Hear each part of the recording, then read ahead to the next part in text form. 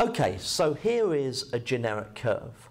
And what we can see is that the curve changes as you move along the x-axis, okay? There are some properties that we can already identify.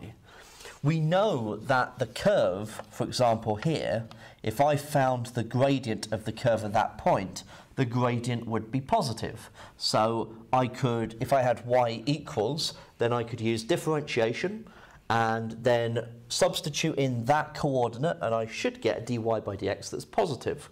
And so it's got a positive gradient. And as we move around the curve, okay, so this is still positive, positive, positive, positive, positive, and then we get to a point where right there, where the gradient will be zero, okay, where we actually have the gradient being zero, where we have this turning point.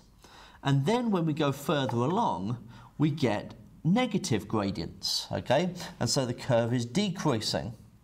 And then once we get along to here, we will find ourselves at another turning point and our line will be horizontal and our dy by dx will be zero again. And then from that point, we are back to increasing, okay, our positive gradient. So we can identify particular bits of this curve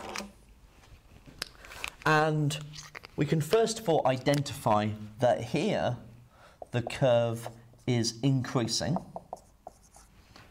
And then it gets to this point here.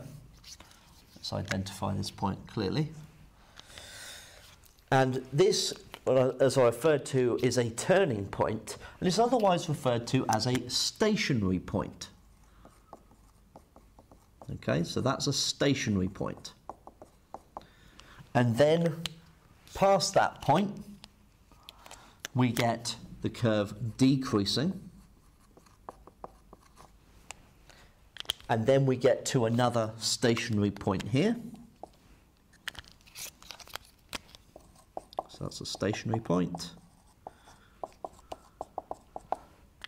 And then it's increasing again.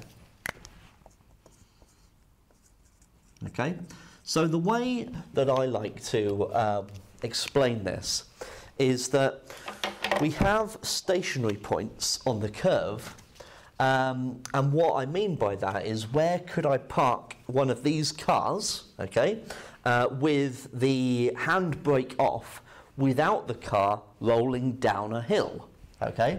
And if I parked it slap bang in the middle there, right at the top of that hill, it won't, as long as it's stuck right there, it won't roll that way or that way, and so it sits stationary there. If I put it at any other point, it will roll down the hill, okay? Um, and then here it would roll down the hill, and then if I put it straight, slap bang in the middle there at that point, then the curve will be stationary there, okay? And so those two points we refer to as stationary points, these turning points. Where can I park this car without it rolling down a hill, okay? Now, I also identified that at these regions, um, the gradient of the curve um, is specifically, when it's increasing, it's positive, okay? So we could write that dy by dx at this point is greater than zero. And at this point as well. So dy by dx is greater than zero.